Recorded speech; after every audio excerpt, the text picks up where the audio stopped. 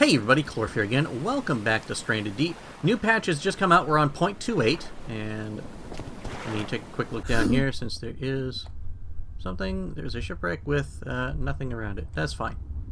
So yeah, we're on 0.28. A whole bunch of changes from the last stable build of 0.24. Um, they have fixed ships to actually spawn around the small islands. That's one thing. That's nice. Uh, they have removed buckets from the game. That's a bit of a problem because now the only way to get any sort of vessel to hold water is to get clay. The only way to clay is to mine clay. The only way to mine clay is to get a mining pick, and the only way to make a mining pick is to skin animals, either the shark or the boar. Here's the problem with that. In the uh, latest patch, 0.28, they broke the skinning mechanic. You cannot skin anything right now. It is very, very broken. So hold off until at least a hot fix comes out, probably within the next day or two. So that is frustrating as heck. Um, you can mine clay. The, that's the only way to get clay is to mine it. And I'm trying to see if I can find a mining resource out here so I can show you what it looks like. They are in the water. It is kind of a reddish brown in color.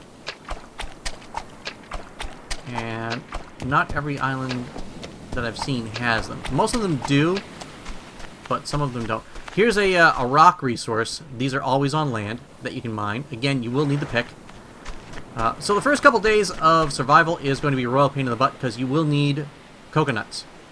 Uh, once you can finally get the mining pick and get clay, you can get to build a kiln, which you're going to need lashing for, I believe. Uh, let's see if we can find a structure. Uh, furnace.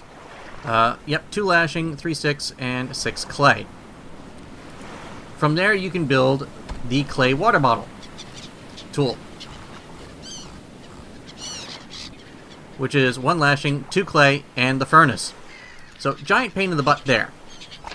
Uh, other changes. Clay has replaced steel as far as a building unit.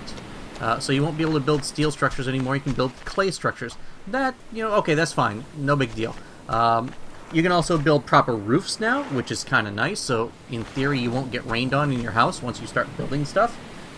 Um, um, what other changes are there? Hang on, let me take a quick look at... Oh, we've introduced a new animal. we've. Uh, I'm not part of the developing team, but I've said we've. Whatever. They've introduced a new animal, uh, the great white shark, so even bigger pain in the butt to deal with. Uh, shipwrecks are, again, around the small islands. One of the problems I noticed with the uh, the most recent experimental patch, 0.27, is the spawning rate on the animals is a little bit lower. Uh, I had to go four islands to get a boar, which is a giant pain in the butt when you actually need leather to make that mining pick. Um, but yeah, that's the major changes. I've got a list of the, well, I've got a link to the changes in the description down below, so you can click on that. It'll bring you to the Steam page. Um, but yeah, 0.28 is out. It's not quite there yet. Um, yeah, they, they, they broke skinning. And I know lots and lots of people are on the forums are still clamoring for multiplayer uh, or co-op. But uh, give them some time still. They need to make sure all of this stuff works first prior to introducing a co-op or a, a multiplayer.